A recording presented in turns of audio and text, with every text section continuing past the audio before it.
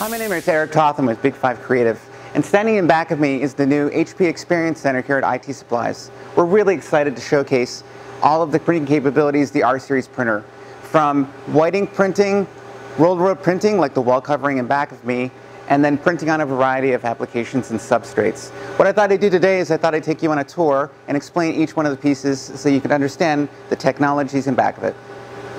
Uh, behind me is a runner crashing to the wall. And the, the idea behind this wall is the fact that the, the HP Latex R-Series printers are remarkable in the fact that they can do roll-to-roll -roll and rigid substrates with latex inks. So this runner crashing to the wall is, represents breaking barriers within the industry itself.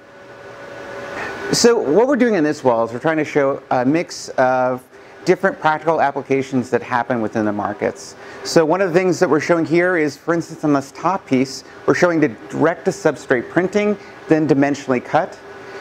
Here we're showing wall decor. So this is a, a canvas print and then stretched onto a canvas frame. Over here we have a retail display box done on corrugated, direct-to-substrate printing onto corrugated.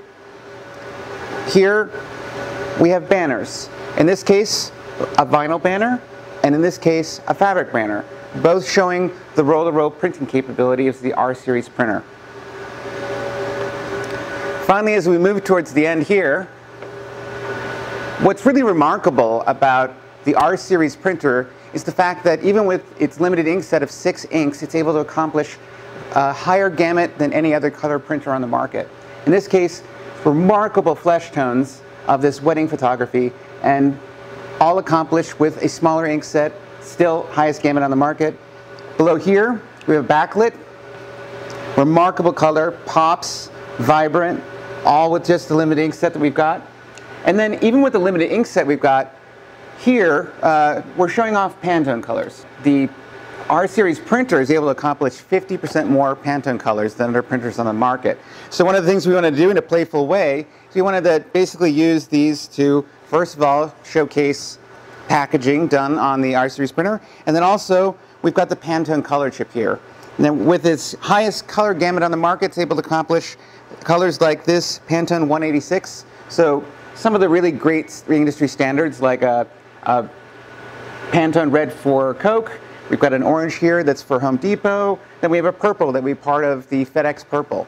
So we are showing it on packages, we're showing it on corrugated cardboard, dimensionally cut, and then turned into a floor standing display.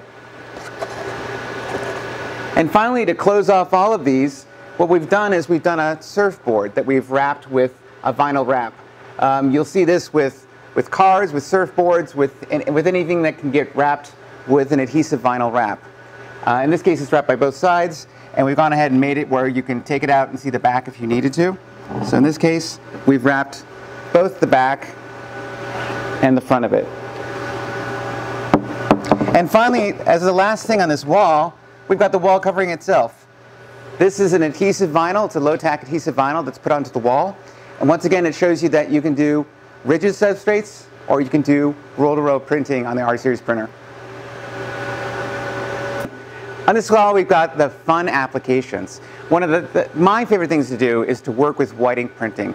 It allows you to print on a remarkable substrates such as wood, acrylic, um, metal, or in this case, we're printing direct to a piece of Sintra. Now it's remarkable in that the level of fine detail you can get within this print and still have the white trap perfectly within it. So what I'll do is I'm going to go through and explain some of these will sound like complicated applications, but they have this really elegant, remarkable look to them. Uh, for this first one, what we're doing is we're trying to showcase what might be a really cool piece that would go into a snowboard shop. So we've got, this is a dark substrate, in this case black Sintra. We're printing directly to the black Sintra, so everything you see within here that's black is the raw substrate, and then everything else has got white behind it, or also CMYK that's happening on it. For the goggles, what we did was we found a gold foil. We print onto the gold foil, and then everything that's the outside part of the goggle, that gets a block out of white in back of it. And then everything you're seeing here for the iridescent goggles themselves, the inks uh, for the latex inks are translucent enough where the background substrate is able to show through. So you can see all of the effects of the iridescent metal through just in the goggles portion of it alone. Now, with uh, bespoke restaurants um, and farm to table, one of the most popular things to do is to print a chalkboard. So in this case, what we're doing is we're showing this is actually a chalkboard substrate. You can take it, write it with it with a chalkboard, wipe it off, but also we've designed it where it looks like it was done with chalk, hand done. This is probably one of my favorite pieces. It's remarkable in that it looks like we printed with a metallic ink. We actually didn't. What we're doing here is the background substrate on each one of these is actually a silver metallic vinyl. What we're doing is we're taking white, we're blocking the effects of all of the silver metallic vinyl and isolating it so the only place that you're seeing the effects is just in the foam.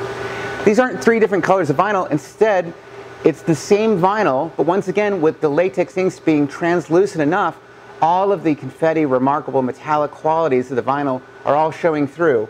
So you get a really rich metallic orange, uh, a heavy duty lime, and then this really colorful, dense magenta on it. What you're also seeing is that the blockout in the white, the opacity of the white ink is so remarkable that the lifestyles are just perfect. If you get close up, looking even this close, there's no way that you can see any of the metallic effect that's happening within the piece. That is how blockout the white ink is on the R-Series printer. Something else to notice is you've got this gradient that's happening where the ink starts here and then eventually drops out where all the black that you're seeing here is part of the raw board within the design. Look at how smooth the gradient is in this piece. No dropout, no stepping, just a remarkably smooth gradient happening here. Some of these are some of the more practical applications, like you've got this real estate sign on it. Everything that you're seeing here is a brush metal Dibond that's happening within it. And then we've used a blockout layer so that we get white letters, so that's white ink at back. And then in back of our real estate agent, we've used a solid opacity of white. So you don't see any of the metallic substrates showing through. You get this high-end looking sign, and then the lifestyle image is perfect. Within this piece, this is a great, elegant piece within all of the designs.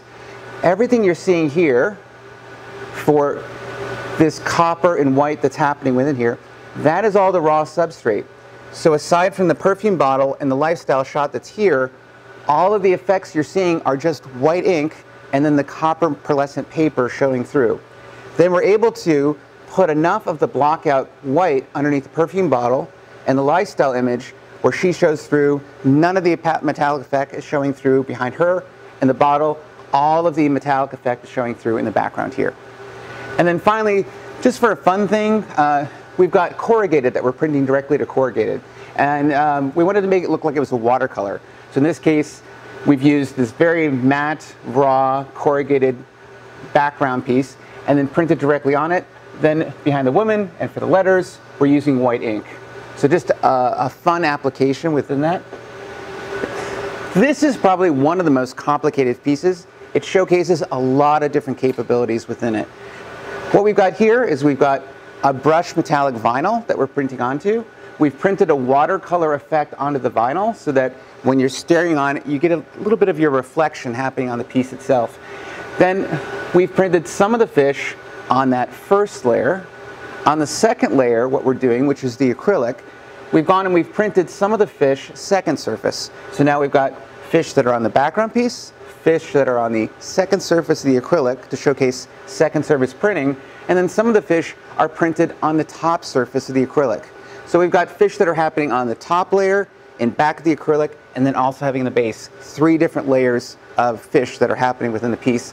And then, as a fun element too, all of these pieces that you see, they're actually all window decals, they're window clings. So you can take them and you can move them around. So as the piece stays up, you can play with it and have it change over time.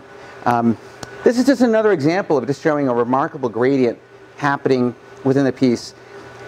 Even with the ink dropping out, we don't get a hard line that's happening in it. Instead, we get this great smooth gradient that happens in the piece. Something that could definitely be produced for a Comic-Con in Las Vegas. Finally, this is a great piece. What we're doing is we're printing directly onto wood. So what's happening here is you've got the wood piece. We've printed a raw wood looking file on top of this. And then where you see the snake, we've got white ink.